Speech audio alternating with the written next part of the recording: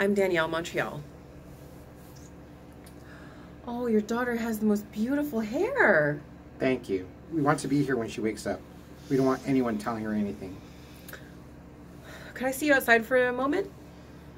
Go. We'll be here if she wakes up. It'll just be a moment. Dr. McMahon's on his way right now. He is a very gifted pediatric oncologist, and I promise you, he will do everything possible for your daughter. Second, and this is very important, you need to tell Hope the truth from here on out, no matter what. Why? She shouldn't have to be dealing with all this. She's only 12.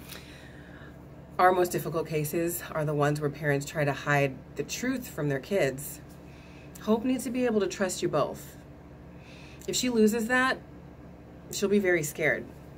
She may be only 12, but don't underestimate her. Do all the kids in this area have cancer? When I started here 28 years ago, that was the only area we needed for kids with cancer. Now it's the whole floor.